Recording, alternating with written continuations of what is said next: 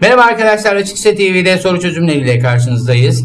Sevgili arkadaşlar bundan sonra her konunun arkasında o konuyla ilgili bugüne kadar Açıkse'de çıkmış soru tarzlarını vereceğim. Ve ayrıca bu sorularda kısa kısa konu anlatımlarından da bahsedeceğiz. Hemen başlayalım önermeler konusuyla ilgili. Şimdi aşağıdaki ifadelerden hangisi bir önermedir? Sevgili arkadaşlar biliyorsunuz ki bir ifadenin önerme olabilmesi için doğruluğu ya da yanlışlığı kesin olması gerekiyor. O halde doğruluğu ya da yanlışlığı kesin olan ifadeleri önerme diyorsak ben bu şıklardan kesinlikle doğru ya da kesinlikle yanlış olan ifadeleri arayacağım. A seçeneğine bakalım. Hava çok sıcak. Arkadaşlar herhangi bir doğru ya da yanlış olmaz ve nesnel olması gerekiyor. Öznel olmaması gerekiyor. O yüzden bu bir önerme değildir. Kaç yaşındasın bir soru ifadesi önerme değildir. Bir yılda 10 ay var. Evet sesinizi duyar gibiyim. Hocam bir yılda 10 ay değil 12 ay var. O zaman bu kesinlikle yanlıştır ve bu bir önermedir. En güzel çiçek güldür. Kişiye göre değişir. O yüzden bu da bir önerme değildir. Hemen geçiyorum ikinci soruya. Aşağıdaki önermelerden hangisinin doğruluk değeri sıfırdır? Yani yanlış bir önerme olacak ya da ifade olarak verildiğinde yanlış sıfır doğru 1 olarak algılıyorduk. Bizden hangi önermenin seçeneği, e, cevap seçenekleri sıfırdır diyor. Hemen bakalım arkadaşlar. Bir veya önermesi. Kısaca şunu hatırlatalım. Veya V ile gösterirken ve e, ters V ile işaretiyle gösteriliyordu. Arkadaşlar veya da şunu demiştik hatırlarsanız. Bu veya bu. Örneğin şöyle bir örnek vermiştik konu anlatımlarında demiştik ki. Bir okula kayıt yaptırıyorsunuz. Size diyor ki nüfus cüzdanınız veya diplomanız gerekiyor. Şimdi bunlardan bir tanesini getirirseniz e, kayıt yaptırabilirsiniz diyor. Çünkü kimlik beyan etmeniz lazım. Ya da daha doğrusu şöyle diyelim açık ses sınavına girerken nüfus cüzdanı veya ehliyetle sınava giriş yapabilirsiniz. Hemen bakıyorum. E, bir öğrenci nüfus cüzdanını getirdi. Bire getirdi diyelim. Ehliyeti de elinde. O yüzden sınava girebilir. Yani bir veya bir bir. Nüfus cüzdanını getirmedi. Ehliyetini getirdi. Sıfır veya bir sınava girebilir ehliyetini getirdi. Nüfus cüzdanını getirmedi ya da tam tersi 1 veya 0. Bunun da sonucu 1. Ama nüfus cüzdanını veya ehliyeti getirmediyse sınava giriş yapamaz. Bunun da cevabı 0'dır. Peki V'de ne vardı? V zaten zorunlu bir bağlaştır arkadaşlar. Her ikisi de muhakkak olmak zorunda. 1 ve 0 bize 0'ı verir. 0 ve 1 bize 0'ı verir. 0 ve 0 bize 0 verir. 1 ve 1 bize 1'i verir. O halde bakın dikkat ederseniz 1 verir diyorum 0 yazıyorum. Dikkat ederseniz V'de ikisi de 1 olursa 1 oluyor. Veya da ikisi de 0 olursa 0 oluyor. O halde hemen bakalım. A seçeneğine baktığımız zaman arkadaşlar 1 veya 0 neye denktir? 1'e denktir veya da P veya P'nin değili. Şimdi P veya P'nin değili. Öğrencimiz der ki hocam bu 0 olursa değili ne olacak 1. O zaman dikkat edin bakın 0 veya 1 hop 1. P 1 olursa değili de 0 oluyor. 1 veya 0 bu da 1'e denktir. Hemen C seçeneğine bakalım. P'ye 0 verirsem 0 ve 0 dikkat edin 0 ve 0 0'a denk. 1 ve 0 bu da 0'a denk. O halde ikisi de sonucu 0. D seçeneğine bakacak olursak 1 veya 1 1'e denk. 0 veya 1 yine de 1'e denktir. Şimdi diyeceksiniz ki hocam P'ye neden 1 ve 0 verdiniz? Arkadaşlar bir tane önerme ya doğrudur ya da yanlıştır. Yani ya 0'dır ya da 1'dir. O yüzden harfli ifadeler verildiğinde bunları kullanıyorsunuz. Geldik diğer bir sorumuza. Aşağıdaki önermelerden hangisinin doğruluk değeri 0'dır? Yani yanlış olan bir önerme arayacağız. İfade olarak verilmiş. Bir hafta 7 gündür. Bu bir doğrudur. Doğruluk değeri de 1'dir. En küçük asal sayı 2'dir. Arkadaşlar asal sayılar e, bir ve kendisinden başka böleni olmayan birden büyük sayılar. O yüzden asallar nelerdir dediğimizde birden büyük olacağı için 2, 3, 4 bir asal değildir. Dikkat edelim 5, 6 asal değildir 7 şeklinde devam ediyor. O halde en küçük asal sayımız kaçtır? 2'dir. Bu da doğrudur. 41 tek sayıdır. Tek sayılara nereden bakıyorduk?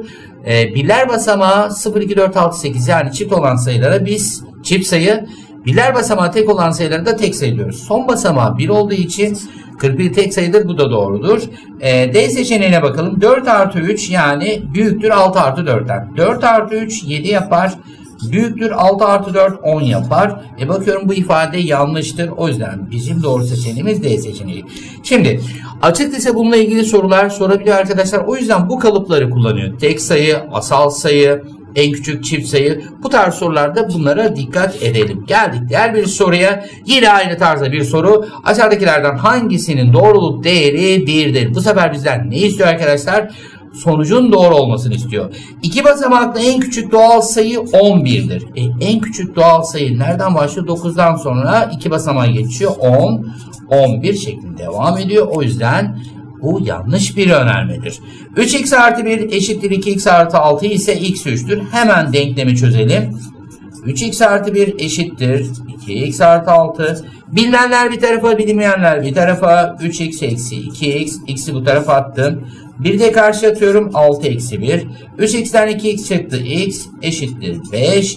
Hemen bakıyorum yanlış bir önerme. Şunu da diyebilirsiniz. Hocam işlem yapmadan direkt nasıl çözebilirim? Arkadaşlar x gördüğünüz yere 3 yazarsanız yani şuraya çarpı 3 buraya da çarpı 3 dedim. 3 kere 3 9 artı 1 10 yapar. 2 kere 3 6 artı 6 12 yapar. Bu birbirine denk eşit olmadığından dolayı bu seçeneğin de yanlış oldu.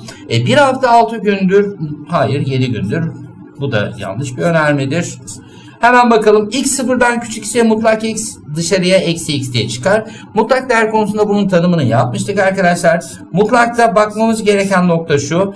Eğer içerisi negatifse gördüğü işaretin yani bulduğu işaretin tersini oluyor. Dikkat edin burada hiçbir işaret yokken aslında ne demek biliyor musunuz? Artı demek. Bundan dolayı artı x dışarıya eksi x diye çıkar ve bu da doğru bir ifadedir. O yüzden D seçeneğim doğrudur. Hemen geldik diğer bir ifadeye. Önermesinin en sade hali nedir? Sevgili arkadaşlar önermelerde sade haliyle ilgili soru gelebilir. Şimdi bakalım. P ve 1 ise P veya 0. Arkadaşlar V'ye bağlacı var. Ben P'ye 1 dersem 1 ve 1 1 olur. 0 dersem 0 ve 1 0 olur. O yüzden buradaki ifade neye eşittir? P'ye eşittir. Yani ben P'ye 1 verdiğimde sonuç 1, 0 verdiğimde sonuç 0 çıkıyorsa P'ye bağımlı çıktığı için oradaki değeri alır yani P'yi alır. İse P veya 0 0 verdiğinde 0 veya 0 0 eşittir. 1 verdiğimde 1 veya 0 1'e eşittir. Bakın P'ye 0 verdim 0 çıktı. 1 verdim 1 çıktı. O zaman bu da kesinlikle nedir? P'dir. Şimdi buraya gelelim arkadaşlar. P ise P. Ben P'ye 1 verirsem 1 ise 1 neye denktir? 1'e. P'ye 0 verirsem 0 ise 0 neye denktir? Yine 1'e denktir. İse önermesinin bağlıcı neydi arkadaşlar hatırlayacak olursak onu maviyle yazalım. İse arkadaşlar 1 0 0 sadece buna dikkat edin. 100 numarada 0 oluyor. Diğerlerinin hepsi sonuç ne olacaktı? 1'e eşitti. Yani 1 ise 1 1'e denk. 1 0 ise 0 1'e denk. 0 ise 1 yine de 1'e denk. Sadece 100 numarayı aklınızda tutun. 100 numara dışındakilerin hiçbiri yani dışındakilerin hepsi 1'e denk. Zaten 100 numara 0'a denk. O halde P ise P 1 ise 1 1'e denk 0 ise 0 1'e denk. O halde bu önermemizde kesinlikle kaça denktir? 1'e denktir. Cevap C seçeneği diyorum ve geçiyorum. Diğer bir sorumuza bakacak olursak P ise Q veya R 0 olduğuna göre aşağıdakilerden hangisinin doğruluk değeri biridir? Arkadaşlar bu tarz soruları çözebilmeniz için öncelikle PQR'nin doğruluk değerlerini bulmamız gerekiyor. Peki nasıl bulacağız? Biz ise de sıfırın olması için ne demiştik?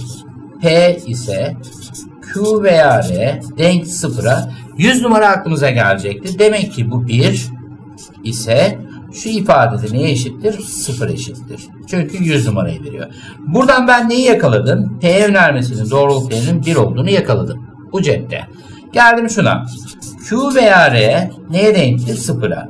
Veya önermesinin sonucun sıfır olabilmesi için Q'nun sıfır ve R'nin sıfır olması gerekiyor. O halde Q sıfıra, R de sıfıra denktir. Önermemde şu anda bütün harfleri tek tek buldum. Bu elimde. Şimdi seçeneklere götürüyorum. Ne yapıyorum? Bu önermelerin değerlerini yazıyorum. A seçeneğine bakalım. 1 veya Q'yu ne bulduk? 0. E sonuç nedir V'de? Pardon veya diyorum. 1 ve 0 sonuç 0'dır. Buraya bakalım. P'ye 1 dedik. R'ye 0 dedik. 1 ve 0 0'dır. P'ye ne demiştik arkadaşlar? 1. Ve Q'nun kendisi 0. Değili nedir? 1'dir. 1 ve 1 1'e denktir. Burada bakalım Q'muz 0 veya R'miz de 0. Sonuçta nedir arkadaşlar? 0'a denktir. Doğru seçeneğimiz C seçeneği çünkü benden doğruluk değerinin 1 olmasını istiyor. Hemen geldik diğer bir soruya. İfadesinin en sade hali aşağıdakilerden hangisidir? Hemen dikkat ederseniz öğrencilerimiz zaten gördü. Hocam P veya P'nin değili var ise Q ve Q'nun değilinin neyi var arkadaşlar? Tekrar değili var.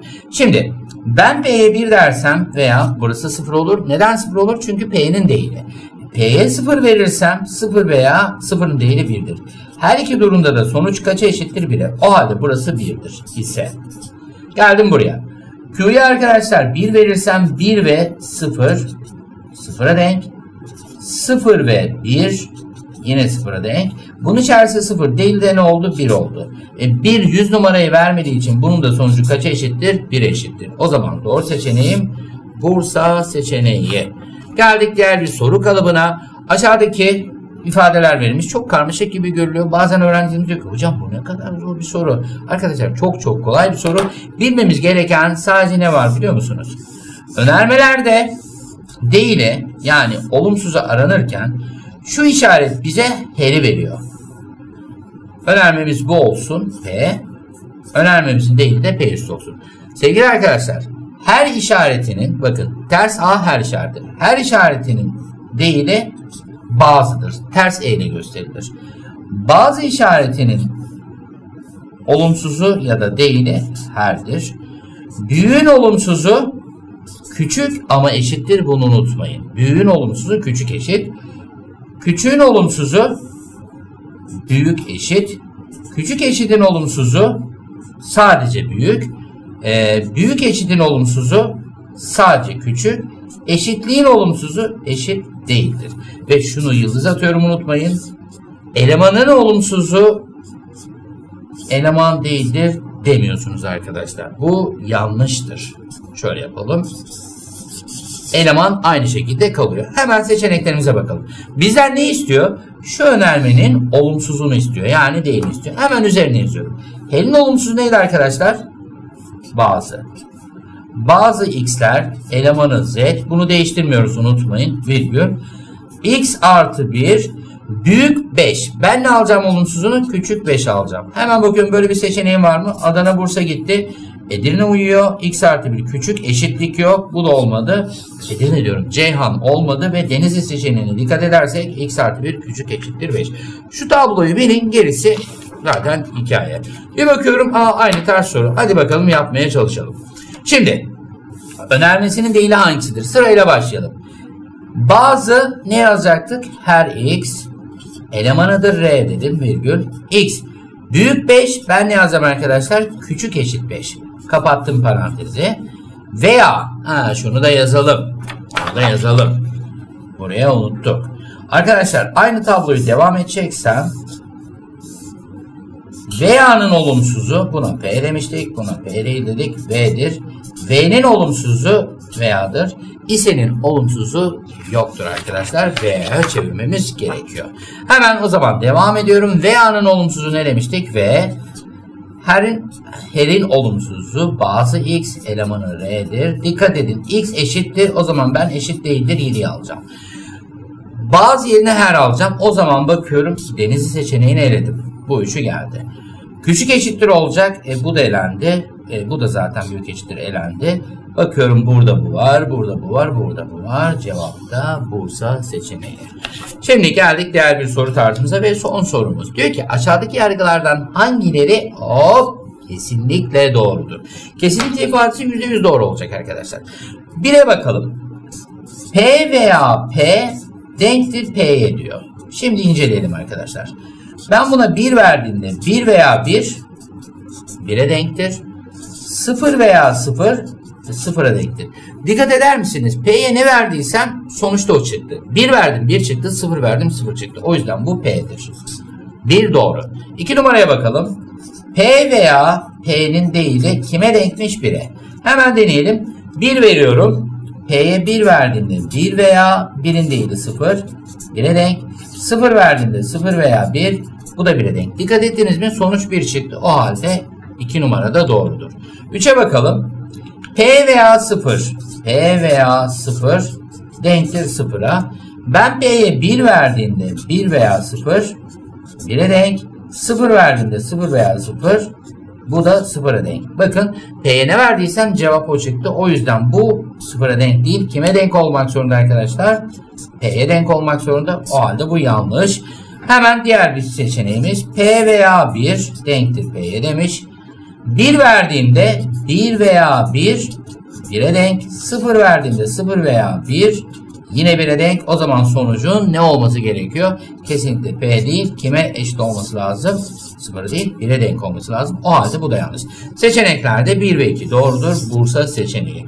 Evet böylelikle bitmiş arkadaşlar. Bugüne kadar açık lisede bunlarla ilgili soru geldi arkadaşlar. Çıkmış sorulara bakabilirsiniz. Aynı tarz sorular. Ve burada e, sorularda neyi çözerken yani soruları çözerken neye dikkat ettim bunları tek tek bir kenara yazarsanız eminim ki önermelerden hiçbir şekilde soru kaçırmayacaksınız. Biliyorsunuz ortalama 2-3 tane soru geliyor. Bir sonraki videoda görüşmek üzere. Hoşçakalın.